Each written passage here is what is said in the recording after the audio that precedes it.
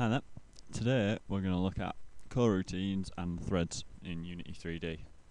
Um, we'll start with coroutines first. Uh, if you're not familiar with coroutines, um, how you invoke one is through the start coroutine method, and then you pass it a function. So you see that I've got a function called do some work. There's my do some work function. Now this function has to return an enumerator for it to work correctly. So just before we actually look into coroutines and what, and what they do, let's just have a look at what an enumerator is. Um, an enumerator, it's an interface for a start, and anything, any sort of collection will have an enumerator. This is what for each loop will use to get all the elements in a collection. So just to show how exactly it works, you can see here when um oh so it starts up. I've got my member my member variable there, type I enumerator. Uh, when it starts up, I set this equal to example num, which just re- which returns an enumerator, and you can see here it's yield returns some names. Um, no, what's going on here? No, I'll keep the current screen. Um, and then when I'm pressing spacebar, I'm calling this move next function on my enum. On my enum there. So let's see what happens. So you see it when I'm pressing spacebar. So I'm just logging all this to the console. You can see that the first one comes up, Matt. Now when I press spacebar again, the next one comes up, Hutch. And again, then Max comes up, and then Scoot comes up. Uh, now if I press it again, nothing will happen. But if I press it one more time, we start back at Matty.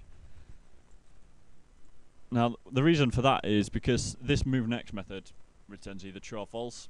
If there's another, if there's another yield statement, it'll return true, and it'll return, and then that's how we get hold of the current one. Uh, if there isn't another yield statement, then it'll return false. And you see that if it ever returns false, we re-reset it. Um, there is a function on mine um, called dot reset, uh, but as it's only an interface we're declaring here, uh, there's no implementation for that reset method within this. We'd have to create a whole another class to be, and that class would have to implement enumerator or enumerable uh, to be able to get that working. Uh, so you see that I've just said it again, and then because once I've reset it, when I press spacebar again, it returns true, and then we get the item. So yeah, yeah, an enumerator, it'll it'll execute the code until it gets to a yield statement, and then it won't execute any more code until a move next method's called, and then it will carry on its execution from that yield return right up until the next yield return. Um, so I mean, we can even do other stuff in between here. You see there, I can even I'll just log to the console my enum in between there, and it should it'll still work fine. You can execute more than one line code. So get Matt, press it again, get Hutch. Now if I press it one more time, we should get the log, the debug log, and a name. Oh no, we haven't. Something's gone wrong there. Haven't saved it. That's why. Uh, so if we go now, so we get Matt A, Hutch. If I press it again, yeah, we get mine on my max, and then we get Scoot. Um, so that's how an enumerator works. And we kind of need to know this to be able to take advantage of coroutines. Uh, because it all works on the yield statement. Now, what a, what a coroutine will do is you pass it in a function, an I enumerator, and it will start executing until it gets to the first yield return statement. Now you see, I'm just I'm simulating some work here, some work that take three seconds. It could be we could be downloading something or anything. Uh, but then how this works is that whatever we return in a coroutine, so here we're returning this new wait for seconds. Now this will then take control of that move next method, and this is what we'll actually call the move next method. So what this object we're creating here, new wait for seconds, after three seconds, it will call the move next method on this enumerator. So that's how they work. And then, so I say you don't have to just use new wave seconds. You can use a www class as well if you're downloading something. And again, that's what we'll call the move next method. So coroutine is very good for when you want to give control over something else, and you you just are you've got to wait for something else to finish. But you don't want to keep checking every frame if that's finished. You just want to let it go do its own thing, and you just want to be notified when it finishes. Uh, and that's exactly what coroutines do.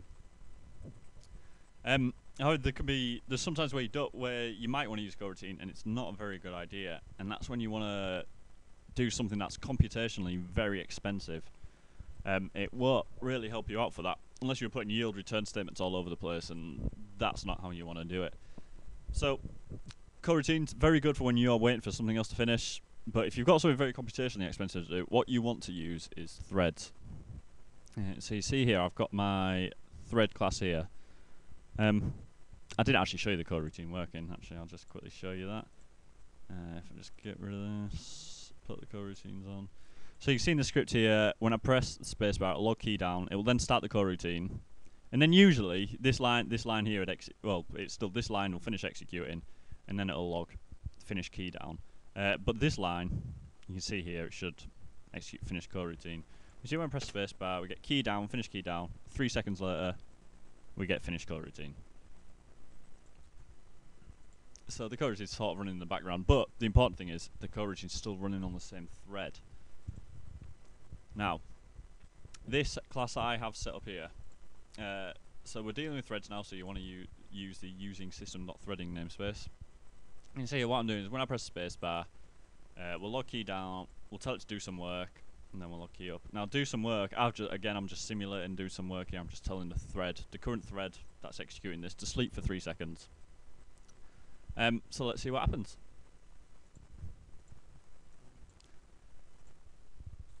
So we got that. So when I press spacebar now, look, nothing comes up and everything freezes. Well, I can't move that. I can't press any buttons. Not until it's all up. See, if I press spacebar again, see, I can't press any of them. Got to wait for all of this to finish. And that's because everything's running on one thread. So when I'm telling that thread to sleep, the user interface can't update. Nothing, nothing can happen. It has to, every calculation has to wait until that's finished. So the best thing to do would be to move this computationally expensive simulation, or thread.sleep in this case, uh, to another thread. And it's actually really easy to do. Um, again, we're using system.threading. Now, the only difference here is this bit. I'm creating a new thread called my thread. See there, it's new thread. Now this takes a thread start as a parameter. So I've got new thread start, and that in turn takes a method as its parameter there. So I've got to do some work. And then again, yeah, we're simulating our computations. Let's tell it to sleep for three seconds, and then we're going to log that it's finished. Now, when I do this script and press space spacebar, so you see here it's updated. Look, we can still move, we can still press buttons, and there it's finished. And I say that's all because we've started a new thread. So the thread that Unity is executing on can just happily carry on doing whatever it's doing and this other thread's just going along, doing whatever it's doing. I say if you've got multi-threaded CPU, which the vast majority of computers do have now, then it's incredibly more efficient. And then so that's how you can take advantage of multi-threading.